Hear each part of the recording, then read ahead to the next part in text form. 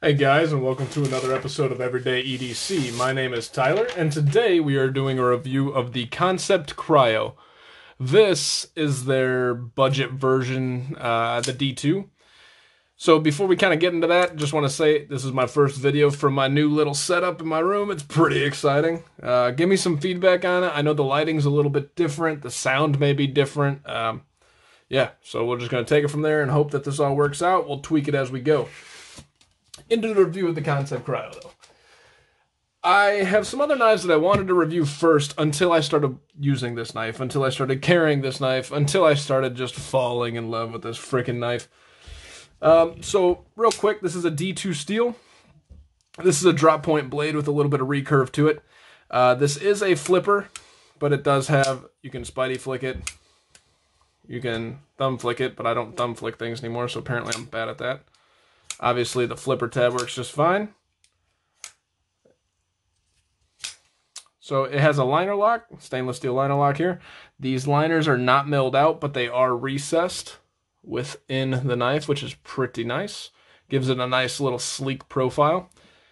It is not ambidextrous. I just looked it up online and it said it was, but I'm looking here and there is nothing there. So this is a right hand only.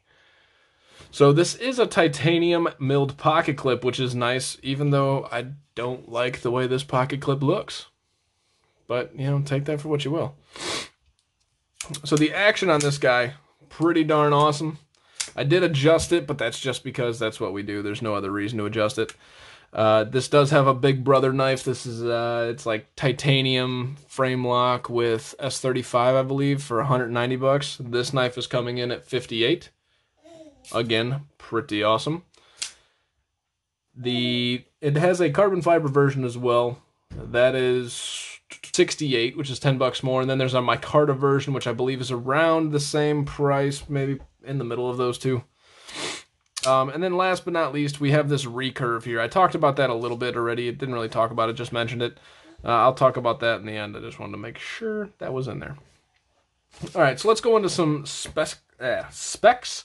Then we will go into some size comparisons like usual. I'll kind of go into my likes, my dislikes, my overview, and we'll talk a little bit about this knife. So, overall length on this knife from tip to tip is about 8 inches and about 8 and one eighth inch, plus or minus a little bit. The overall length on the blade is 3.5 inches. The overall cutting edge is just that 3.5 inches as well. Let's do the weight on this guy here. I probably should have used a different background because this knife's black. It's just disappearing on it, but whatever. So the overall weight on this guy, a little bit beefier, coming in at 4.29 ounces. Not a huge deal, been carrying it. Don't hate that weight at all. Um, and what you're getting in this, uh, you know, it's it's worth it's worth carrying 4.25 ounces. Suck it up, buttercups. All right. So the blade stock thickness is 130 thousandths. The behind the edge thickness is coming in right at looking at about 20 thousandths.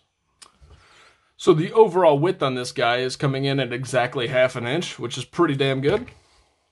Let's see the height in your pocket, excluding the flipper tab about 1.3, 1.4 inches high. It's kind of average. That To put that into perspective, just so you guys can see, the Manix 2 at its highest point is coming in at 1.73. So this is, you know, a, almost half an inch less than the Manix 2, and that makes sense. It, it carries pretty easy. It carries pretty sleek. Um, let's do your hardware check. The pivot is a T10. This is this part gets kind of goofy. The pivot's a T10. Hold on. Did I have a brain fart earlier? No. The pivot's a T10. The body screws are a T8. But the frickin' pocket clip screws are a T6. Not a huge deal, but you need three different bits to take it apart. That kind of irritates me a little bit, but whatever. Let's go into your size comparisons. Let's grab our feldspar and then our mini feldspar. Obviously, this knife is a little bit longer than both of these, much longer than the mini, and barely longer than the regular size Feldspar. Since I got them here, we will go with the Spyderco Astute, the Spyderco Manix 2. The Manix 2 is just about the same size if it wasn't for the weight. Actually, it's just about the same size.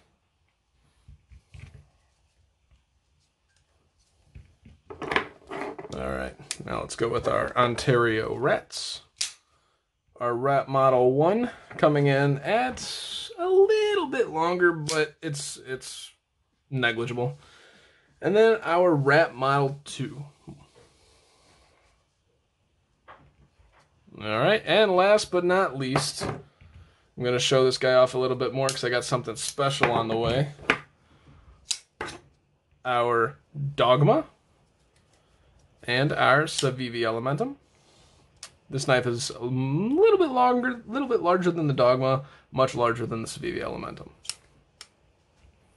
This has a drop point blade with a slight recurve. Kind of annoying because it adds just a hint of annoyance when you're sharpening it. Not a big deal. This is on ceramic ball bearings. Have very nice action. Um, I love this. The action on this is just great. So, especially for a $58 knife, it rivals that of Civivi. It, it's just, it's fantastic. The carry profile is great. The pocket clip, not so great. And they slapped titanium on it. I wish they would have just did stainless steel deep carry and just knocked off another five bucks.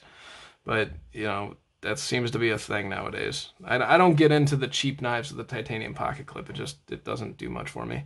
We got these really nice black standoffs back here. It's got a recessed liner that is not milled out. Doesn't appear to have a lanyard hole anywhere, which is kind of cool. You know, you're not emphasizing shit with the lanyard hole. You can spidey flick it, thumb roll it, thumb flick it, uh, light switch it, whatever you want to do. See if I can fail it. I can fail it, but not not a huge deal. Um, I'm not putting any effort into the flipping of this knife at all. Ergonomics. The ergonomics of this knife, you are absolutely locked in. It doesn't force your hand into one place. One complaint.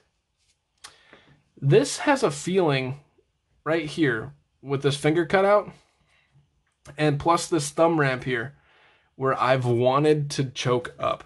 I've caught myself grabbing this here and this is just a sharpening choil, a really nice sharpening choil, but it's just a sharpening choil. Don't choke up, choke up, you will slice yo shit.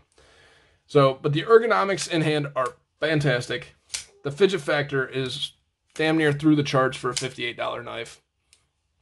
The blade is a great length. With this recurve, it does add a little bit of, in theory, uh, usefulness, a little bit more length to the blade. Kind of looks cool. It just, I know it's going to irritate me to sharpen. Um, and then the price on this guy, 58 bucks. For what are you getting for 58? You're getting G10, D2, recessed liners, a titanium pocket clip, stainless steel liners, ceramic ball bearings. Great fidget factor, great ergonomics.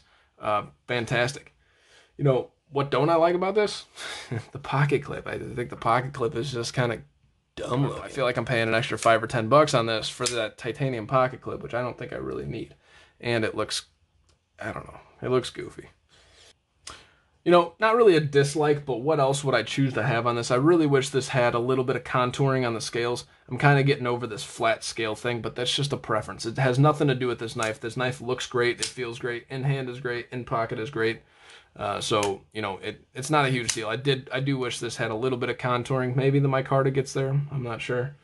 There's a micarta version, like I mentioned, and then you know, I dislike wise again, I'm not a huge fan of this recurve, but not a huge deal, and it's very slight. It won't really add too much of an issue. Fit and finish of this guy. Friggin' awesome. No issues whatsoever. Blade play. Uh, the pivot's been coming a little loose on me, uh, just because I fidget with this nonstop, but there is no up and down blade play. Side to side, you can tighten it up. Here, I can do that right now we will tighten it up to where there's no side to side. And then I'll show you the action on it. So no blade play side to side. The action, just as good. Friggin' awesome. The centering, see if we can see this because it's the black on black. The centering is deceiving. It every time I look at it, I'm like, what am I looking at? But it's it's dead center. It's once again fantastic. Can you touch it from the end? Nope. You barely miss it. The clearance there is perfect. What do I want if I could have it? I wish I had a finger choil on this guy just because I wish I had a finger choil on every knife. And I wish I had a deep carry pocket clip. Other than that, there is no other wants for this knife. Last but not least, let us bring out the QSP Copperhead. Why am I bringing this out? Well, A, the blade lengths are the exact same, if not a little bit more with the Kansept. But B, guys, I'm gonna have a budget knife of the year after everything I've I've gotten so far. And this Kansept Kryo is going up for my budget knife of the year right now. The QSP Copperhead, same price range. This guy's right there with them. I love both of these knives. These knives are freaking awesome. Just wanted to show its competitor right now. I tried to think of what did I get this year that came out this year that I would, and I don't know that the Copperhead came out this year. I gotta look that up. But what would I compare against this for a budget knife of the year? The QSP Copperhead comes to mind and nothing else. You know, my criteria being under 100 bucks, that's basically it. I don't think of anything else that I've touched this year that came out this year that really goes up for budget knife of the year other than also the Civivi Dogma. This was King Civivi. I'm pretty sure this came out in 2020. Just a fantastic knife. Uh, but man, those three so far are my budget knives of the year. There will be a budget knife of the year video, and uh, I'm, I'm I'm stoked for it. I want to do it right now, but I gotta freaking wait till the end of the year. That's about it, guys. Nothing more to say. There's not much bad about this knife. The pocket clip's a little goofy. Not really a huge fan of the recurve. Everything else is fantastic. The ergonomics are great. Wish I had a finger choil. Not a make or break. The D2 steel is awesome. The price point at 58 bucks is awesome. The G10, the recess pocket or the recess liners, uh, everything. There is no hot spots when you're gripping and bearing down, and you can. You can bear down on this knife with the way that the ergonomics are. So, the Kansept Kryo. I'm going to call it Concept, Concept, whatever you want to call it. The Kansept Kryo. I love this knife so much that I want to buy the titanium version now. I like I want it. That's how much I love this knife. It is fantastic. That's all I got to say, guys. I highly recommend this knife. My name is Tyler. This is Everyday EDC. You guys stay sharp, stay safe. Have a great freaking day. Thanks for watching.